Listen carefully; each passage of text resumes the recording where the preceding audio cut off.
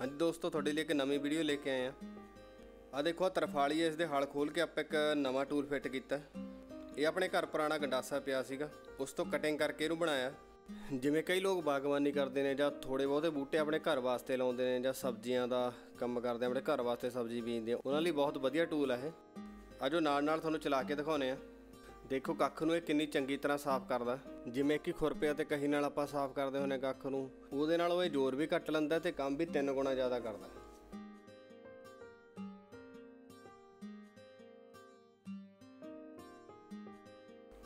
ਬਾਅਦ ਚ ਕੱਖ ਤੁਹਾਨੂੰ ਚੱਕਣ ਦੀ ਵੀ ਲੋੜ ਨਹੀਂ। ਜੇ ਤੁਸੀਂ ਇਦਾਂ ਹੀ ਛੱਡਣਾ ਤਾਂ ਇਦਾਂ ਵੀ ਛੱਡ ਸਕਦੇ ਹੋ, ਖਾਦ ਬਣ ਜਾਊਗਾ ਬੂਟਿਆਂ ਲਈ। ਜਾਂ ਫਿਰ ਤੁਸੀਂ ਪੰਜੇ ਨਾਲ ਇਹਨੂੰ ਪਰੇ ਹਟਾ ਸਕਦੇ ਹੋ। ਕਿਉਂਕਿ ਜੇ ਪੁਰਾਣਾ ਕੱਖ ਵੀ ਪਿਆ ਹੋਊਗਾ ਤਾਂ ਵੀ ਇਹਨੂੰ ਚਲਾਉਣਾ ਬਹੁਤ ਆਸਾਨ ਹੋਊਗਾ। ਇਹਨੂੰ ਕੱਖ ਪਰੇ ਕਰਨ ਦੀ ਲੋੜ ਨਹੀਂ ਹੈਗੀ।